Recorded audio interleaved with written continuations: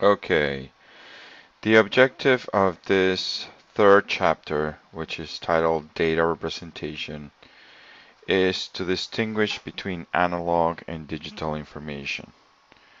Also, to be able to explain how data compression works and what exactly is a compression ratio.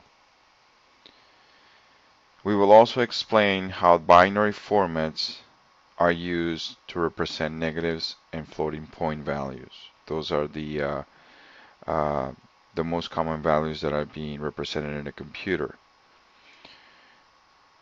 Later on in another video lecture, we're going to be able to describe the characteristics of the ASCII and the Unicode character sets. So how are the characters represented in a computer? We're also going to do several types of text compression.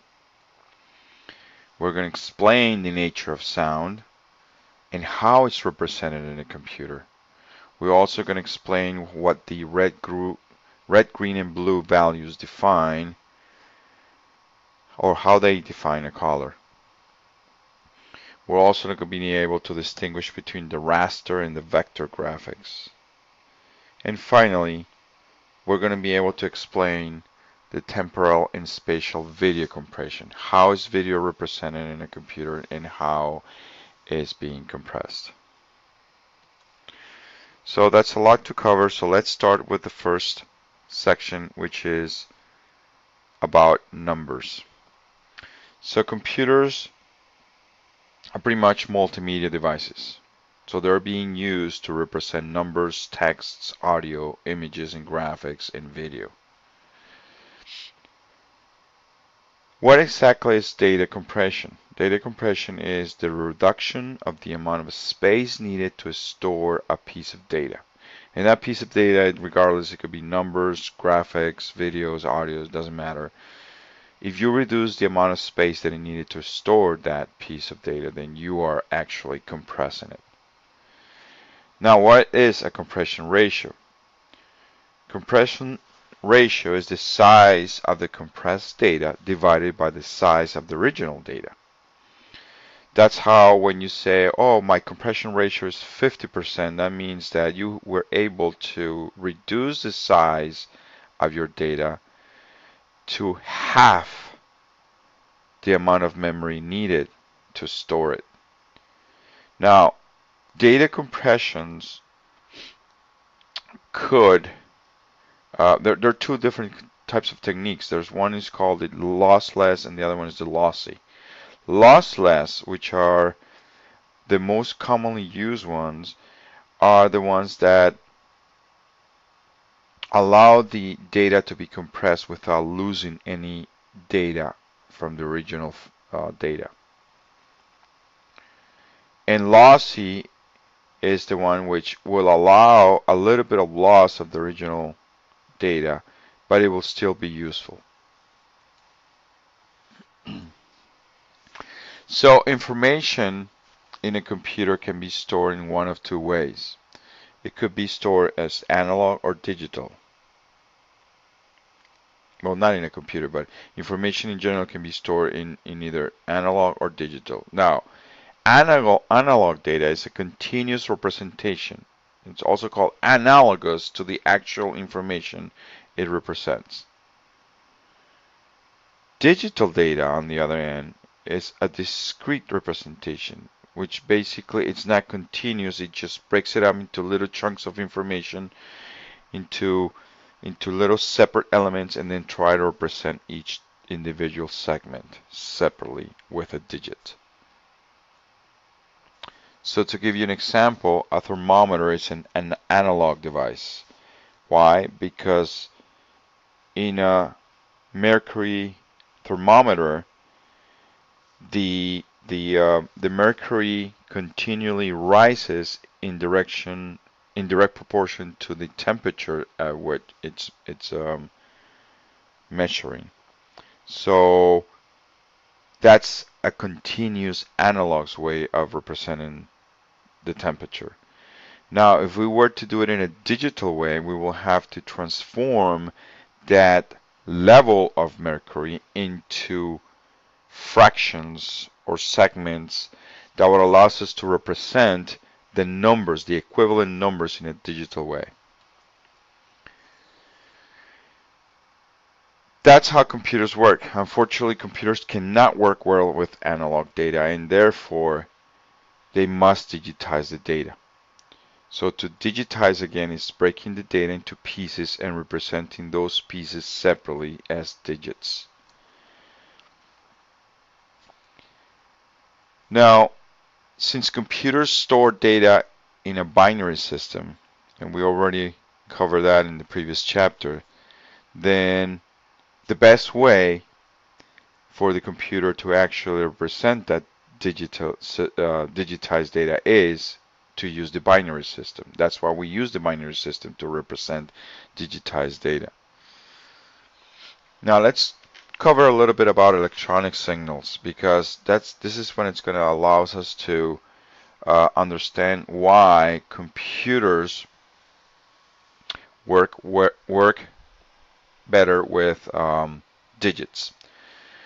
So these are a few important facts about electronic signals. An analog signal continually fluctuates voltage up and down because it's it's analog. So if you can imagine a, an analog signal being a bunch of curves measuring whatever it's measuring, but it's representing some kind of data. It could be temperature, it could be whatever, pressure.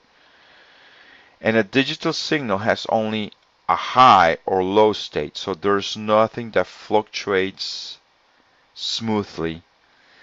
And those high and low states correspond to two binary digits, either a 1 or a 0. So the equivalent will be something like this, in which we have 0 at the bottom, then you have a sharp climb to a 1 and then a sharp uh, um, descending to the 0. So this will represent a 1 and this will represent a 0. Now all electronic signal, signals, whether they're analog or digital, doesn't matter, they degrade as they move down a line as they're being transmitted, they degrade. Now the voltage of the signal fluctuates due to the environmental effects. So it's possible that the voltage could fluctuate within a certain range due to the environment. So what does that do to the signals? That means that the signals gradually um, they uh, they gradually um, degrade and therefore um, a digital signal is reclocked to regain its original shape. That causes that digital signals, which only represent, do not represent any analog or curves and only represent digits, a 1 or a 0, two states, that means that with a reclocking, they can keep the original data intact. While with analog systems, the degradation makes the system lose the original information, the original data. Now, how do we represent binary? Um, as we all know, in the binary system, one bit can represent 0 or 1. So one bit can represent two things, right?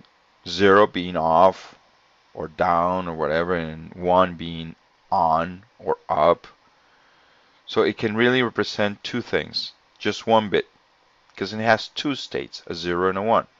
Now, two bits can represent four things, because it will be a combination of 00, 01, 10, or 11. So it's the on-off state combined together of two different bits. And if we continue going through samples of how many things can be represented in the number of bits, you can see that there's a formula that how many things can be represented in 3 bits? 2 to the third. In 4, 2 to the 4. And in 5 bits, or in 8 bits, 2 to the 8th. So given that, we can actually see how all the different bits have all the different values. And that's how we count, or that's how computers count using the binary system.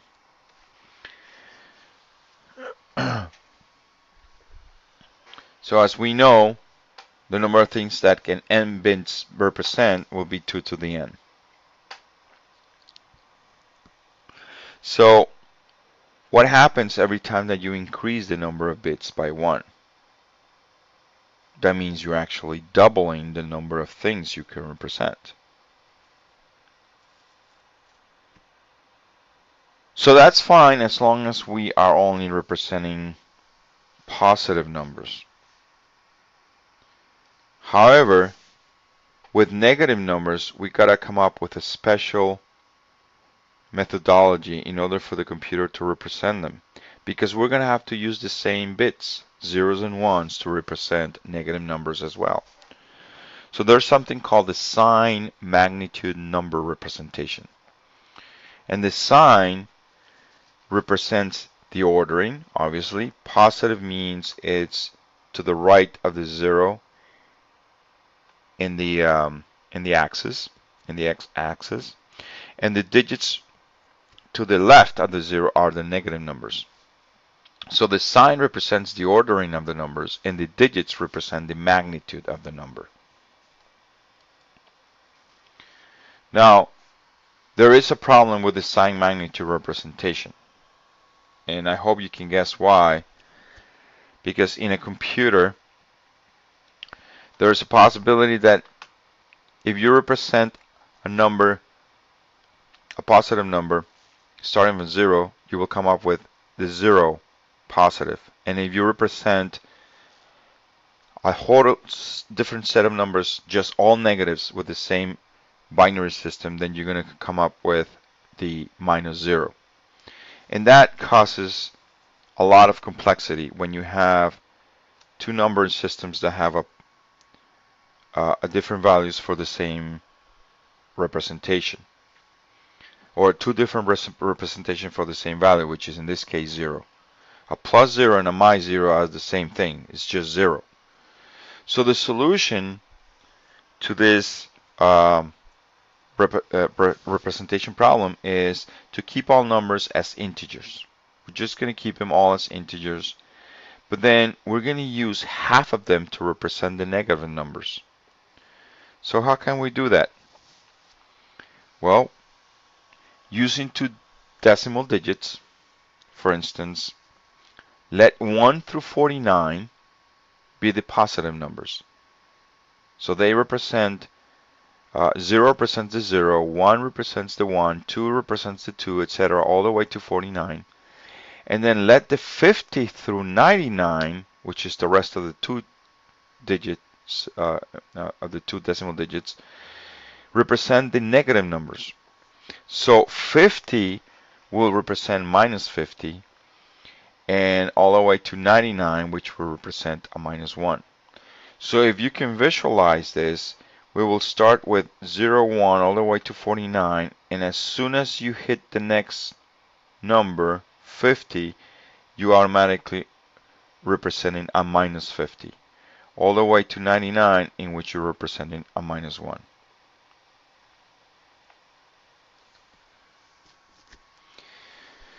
So given this, that means that to perform an addition, you can add the numbers and discard any carryover. So it's very simple. Suppose that you want to add 5 and minus 6. 5 is 5 because it's positive. But minus 6 in the new system, minus 6 will be equivalent to 94 somewhere in this scale. So if you add 5 and 94, that will give you 99. In the new scheme. Okay, so 99, if we go to the scale, notice that it's a minus 1, and that is the correct answer to 5 minus 6. 5 minus 6 is actually minus 1. And you can keep doing other examples of it If you end up with carrying over, you just uh, ignore the rest of the digits in the carryover.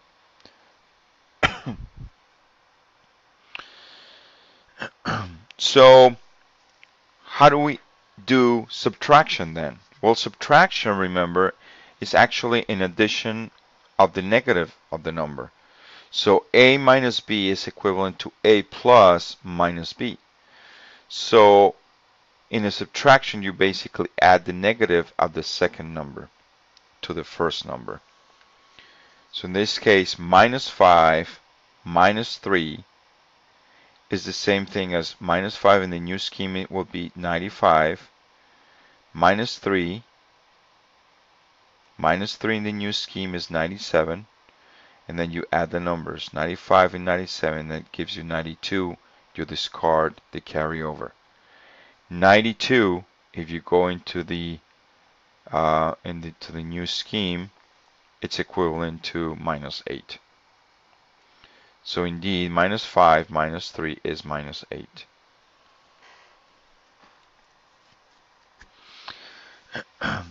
so here's the formula to compute the negative representation of a number. In the decimal system, for instance, the negative of the number i is equal to 10 to the k, where k is the number of digits that you want to represent it in, minus i. and this representation is called the tens complement.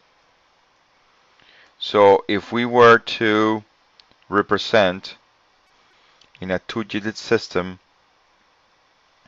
the number minus 5 according to the formula, it will be 10 to the 2 because we want it in a two-digit system. That's 10 squared, which is 100, minus minus 5, which is plus 5.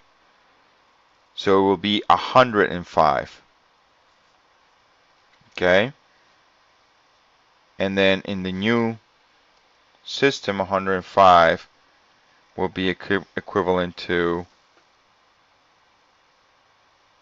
just discard the carryover of the 1 in the 100, then it will be 0, 5, which is 5. So the negative of minus 5 is 5, and that is correct. And this is called a representation, uh, in, in, this representation is called the tens complement. And there's something equivalent to the tens complement called the twos complement. And the idea is it will also have the same formula. It will be the negative of a number will be equal to 2 to the k, where k is the number of digits, minus the number. And so what that allows us is to represent negative values using a binary system. And this is the system that the computers use to represent negative values. Basically, if the first digit is a 1, then it's a negative number. If it's a 0, then it's a positive number. And then the rest of the digits would represent the actual value, whether it's positive, 0 through 127 in 7 digits, eh, in 7 bits, and then from minus 128 to minus 1 using the rest of the bits. Now, how is addition and subtraction the same as in the 10 complements arithmetic? Well, if you say, for instance, I want to be able to add minus 127 plus 1, minus 127, as we know, in the new schema, binary schema, will be to 1, 0, 0, 0, 0, 0, 1. And here we have it. And 1 will be this one. If you add them up, it will come up with this number. 1 plus 1, 0, carry over. That's a 1. And the rest stay the same because you're adding zeros to it. And this number is equivalent to minus 126. So as you can notice, the 1 indicates the leftmost bit if it's a 1 indicates it's a negative number. If it's a 0 indicates it's a positive number. Now what happens is the computed value won't fit in those 8 bits that we're trying to accommodate. That's what it's called, typically called an overflow. So if each value is stored using 8 bits, adding 3 to, for instance, 127 will overflow it. So this is the equivalent of 127. Let's take a look at the binary system again. So 0 plus 7 ones is 127. And here it is. Sorry. Here it is. 2, 4, 6, 7, 7 ones. And then you add 3, which is 1, 1, and the rest zeros. When you add them, 1 plus 1, 0, you carry over 1. 1 plus 1, 0, and the 1 you carry, that's 1. then you carry 1. 1 plus 1 is 0, and then you carry 1. And then you keep doing that until you hit the 1 carry. And this is actually representing a negative number. So in reality, if this is trying to represent a positive number, then we will overflow. But it could also represent a negative number, which in this case it will be incorrect because we're trying to add actually 127 plus 3, which is we know it's 130. This is 130. But in the new schema, that number will be minus 126. So problems occur when, map, when mapping an infinite world onto a finite machine.